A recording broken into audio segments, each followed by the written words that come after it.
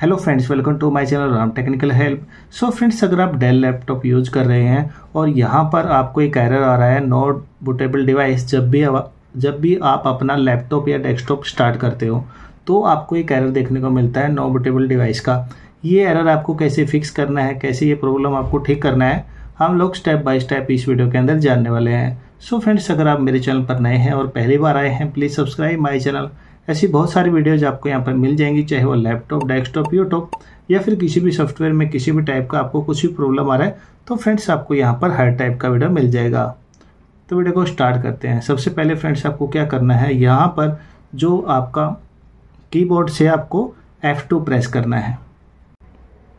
जैसे कि आप यहाँ पर देख रहे हो, यहाँ पर आपको F2 प्रेस कर देना है, ताकि जो हमारा लैपटॉप है, वो बायोस मोड के अंदर चला जाए। जैसे कि मैंने यहाँ पर प्रेस कर दिया तो मेरा यहाँ पर सिस्टम बायस मोड के अंदर आ चुका है। ठीक है? तो यहाँ पर आप जैसे कि देख पा रहे हो कि यहाँ पर मेरा जो लैपटॉप है, यहाँ पर बायोस मोड के अंदर आ चुका है। ये हम लोग डेल का लैपटॉप यूज़ कर रहे हैं तो आपको ये प्रॉब्लम डेल के अंदर फिक्स करना है। ये डेल लैपटॉप के लिए प्रॉब्लम है। सो so फ्रेंड्स, आपको जैसे आपने F2 प्रेस किया तो आपका जो सिस्टम है, यहाँ पर बायोस के अंदर आ जाएगा। इसके बाद आपको क्या करना है? सबसे पहले जो आपको डेट एंड टाइम का जो ऑप्शन दिख रहा है, यहाँ पर आपको क्लिक कर देना है। यहाँ पर फ्रेंड्स आपको जो आपका सिस्टम का डेट और टाइम है, वो आपको करंट डेट के हिसाब से और करंट टाइम के हिसाब से रखना है। ठीक है? ये आपको बिल्कुल यहाँ पर ठीक कर लेना है, आपका डेट और टाइम इसके बाद आपको क्या करना है, यहाँ पर जो सिस्टम इन्फॉर्मेशन के अंदर जाना है। सिस्टम इन्फॉर्मेशन के अंदर आप देख पा रहे हो कि यहाँ पर जितने भी आपका हार्डवेयर इसके अंदर जो लगा है, उसका इन्फॉर्मेशन आपको यहाँ पर प्रॉपर दिख रहा है या नहीं दिख रहा है। हम लोग यहाँ पर चेक करेंगे कि जो हमारा हार्ड डिस्क है और रैम है, वो यहाँ पर प्रॉपर लगे हुए हैं या नहीं लगे हुए हैं। ठीक है? तो आप देख पा रहे हो कि यहाँ पर जो आठ जी रैम है, इसके अंदर जो प्रॉपर लगा हुआ है। ठीक है? तो आपको यहाँ पर मेक श्योर करके रखना है कि जो आपका सिस्टम है, उसके अंदर हार्ड डिस्क वगैरह सब प्रॉपर तरीके से लगी हुई है, नहीं हुई है। तो थोड़ा नीचे की तरफ़ आएँगे।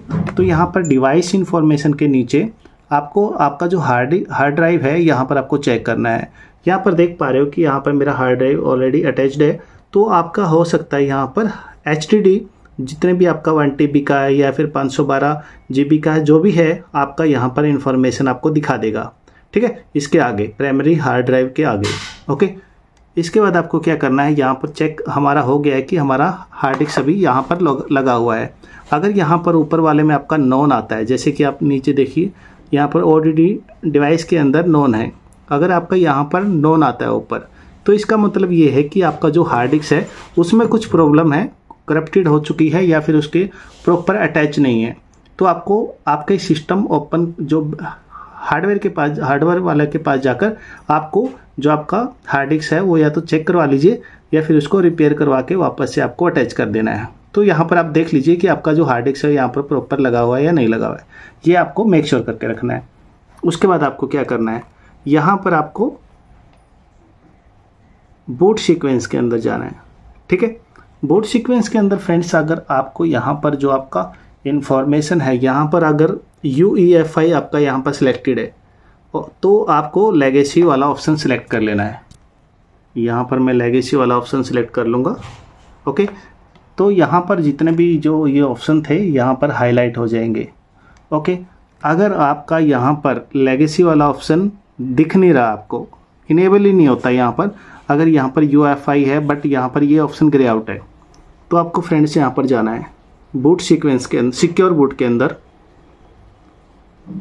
यहाँ पर सिक्योर बूट के अंदर गए। यहाँ पर सिक्योर बूट इनेबल का एक ऑप्शन होगा। यहाँ पर आपको क्लिक कर देना है ऊपर वाले के पास। तो यहाँ पर फ्रेंड्स अगर आपका यहाँ पर इनेबल्ड है। ठीक है?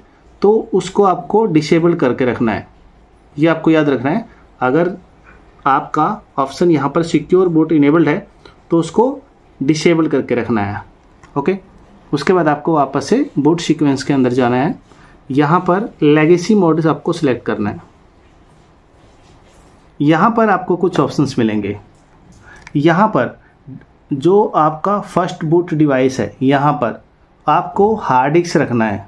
अगर आपका यहाँ पर यू या फिर सी डी रोम या फिर कोई अदर ऑप्शन आपको यहाँ पर है, ठीक है? तो आपको यहाँ पर मेक श्योर करके रखना है कि आपका जो एच डी जो हार्ड डिस्क है, यहाँ पर आपको सिलेक्ट करके रखना है, ठीक है? यहाँ पर जैसे, अगर यहाँ पर ये डिवाइस ऐसे है ऐसे है आपका तो आप क्या करोगे? यहाँ पर क्लिक करना है और यहाँ पर उसको ये एरो पर क्लिक कर देना है। तो इससे क्या होगा? जो आपका हार्ड डिस्क है वो फ़र्स्ट बूट पर चला जाएगा।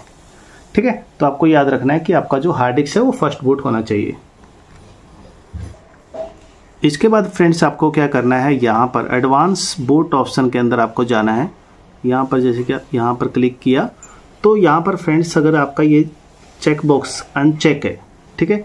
यहाँ पर अगर ये चेक बॉक्स अनचेक है तो उसको आपको चेक कर लेना है ओके ये आपको याद रखना है। इसके बाद फ्रेंड्स आपको क्या करना है? यहाँ पर सिस्टम कॉन्फ़िगरेशन का एक ऑप्शन है, यहाँ पर जाना है आपको। इसके बाद आपको क्या करना है? साटा ऑपरेशंस क्या एक ऑप्शन मिलेगा आपको, यहाँ पर क्लिक कर देना है। इसके बाद फ्रेंड्स आपको जो ए एच सी आई का ऑप्शन है, ये आपको सिलेक्ट करना है। अगर यहाँ पर आपका डिसेबल्ड है, ये वाला ऑप्शन तो उसको आपको सिलेक्ट कर लेना है। याद रखना है आपको, ये ए एच सी वाला ऑप्शन ही आपका यहाँ पर सिलेक्ट होना चाहिए। ठीक है? और यहाँ पर आपको ये इन्फॉर्मेशन आपको यहाँ पर सेट कर लेना है। ठीक है? इसके बाद आपको क्या करना है? यहाँ पर नीचे की तरफ़ एक अप्लाई का बटन होगा। यहाँ पर क्लिक कर देना है और उसको ओके कर देना है। इसके बाद आपको क्या करना है? यहाँ पर एग्जिट बटन पर क्लिक कर देना है।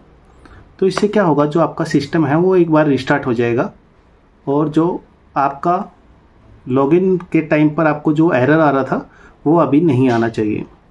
तो फ्रेंड्स यहाँ पर आप देख पा रहे हो कि जो हम लोगों को एरर आ रहा था हमारा स्टार्टिंग के टाइम पर, वो अभी नहीं आया है। जो एफ़ टू दबाने के लिए प्रेस करने के लिए जो आपसे पूछ रहा था, अभी वो यहाँ पर नहीं पूछ रहा है।